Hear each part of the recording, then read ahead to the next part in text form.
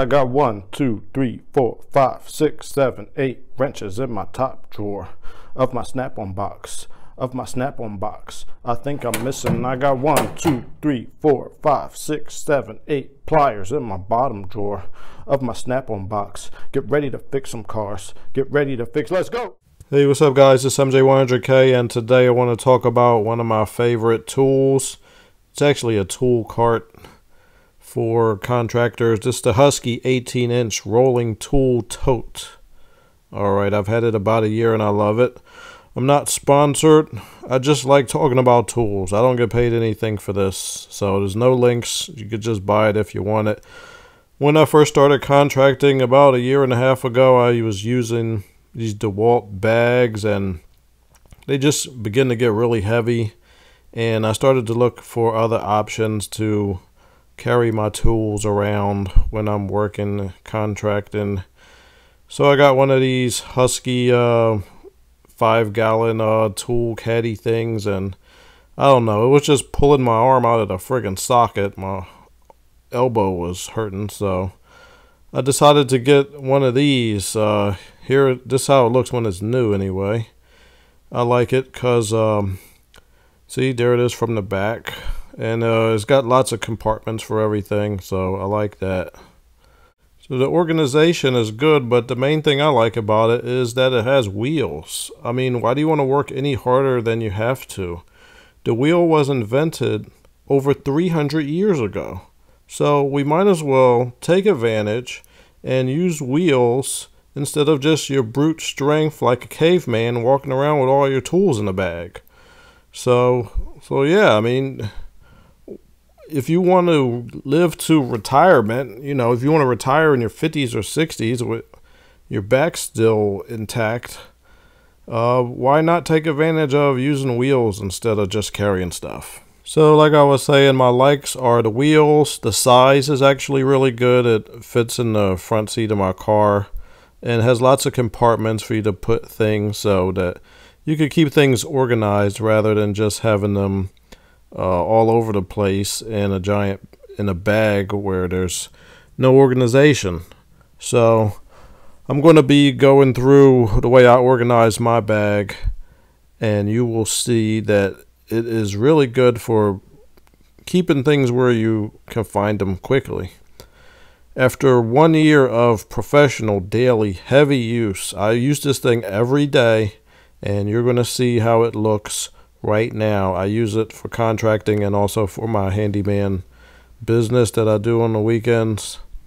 So here you go. As you can see, it is used. Uh, this thing still works. Sometimes it doesn't want to stick in the middle position if you got to mess with it a little bit, but it'll definitely stick in the fully up and fully down position.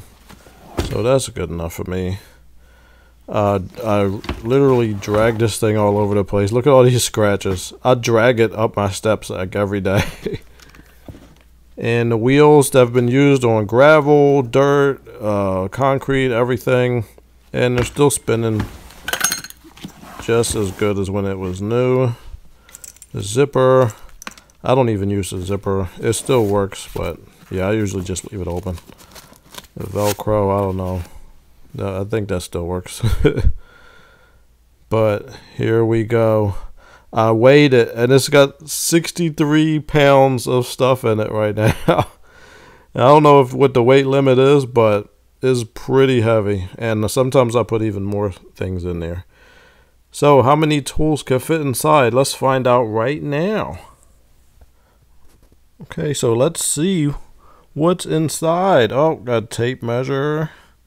There we go. Some ear protectors. These are my Allen keys.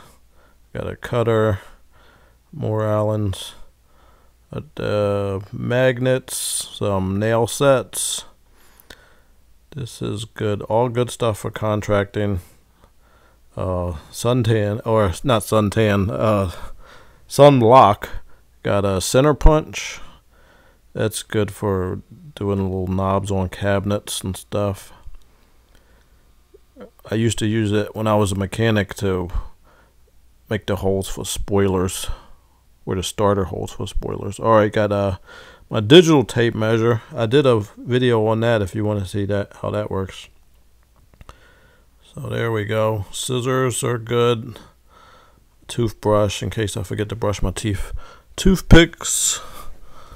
Uh, some extenders for drill bits. Some wood glue. Not uh, got some sticky notes, cardboard, uh, cat paw, another cat paw. I don't think that's the real name. Some uh, a whole bunch of stuff, pliers, etc. Screwdrivers, Harbor Freight Special. That's what I'm talking about. I think one of those is from AutoZone. Then got five and ones, a couple of them because I lose them. Pick set. Uh, that they and those are the side compartments. Got a light. I always need the light. My hearing protection. I call this the football. I got my drill bits in one, and you gotta have the football for contracting. And then you got your your metal drill bits, and then your wood pilot bits. You got to have the clear case so you can see it quickly. Because if you don't, then you got to like open up each one and figure out what's in there. I got a magnet. I use this magnet sometime to find studs. Um, got that dang uh, uh, mask. I did a video on that. Nail pullers. DTD. So exciting. Two nail pullers because I lose them. So drywall knife. Uh, that knife is for uh, like fiber, like um, insulation. And then the uh, metal cutters and a little, I forget what that thing called, but I do use it vice grips. This is awesome. More Allen wrench. This girl I work with, she was like, I'm gonna open up that bag and see everything that's in there because every every second somebody asks you for something and you almost always have it. So there's a lot of stuff in there. Uh, a couple levels. Got some uh, little chisels. But uh, a lot of stuff. This is like my multi-bag. Got my drill, impact drill, and my little drill. That's what all those attachments are for. I did a video on that drill. That's a very handy tool. And I use it quite, I use it like every day. What else we got in here? Hammers. Got three hammers. Carpenter's hammer, snap on 40 ouncer, and a Harbor Freight rubber hammer. I got a giant pry bar. Very awesome. That's a baller status pry bar. I got my little Harbor Freight pry bars. Those are good too. I got a long uh, needle nose and another hammer. Nothing but hammers. I got a oh this gyroscope uh, screwdriver. This is so cool. I'm gonna do a video on this.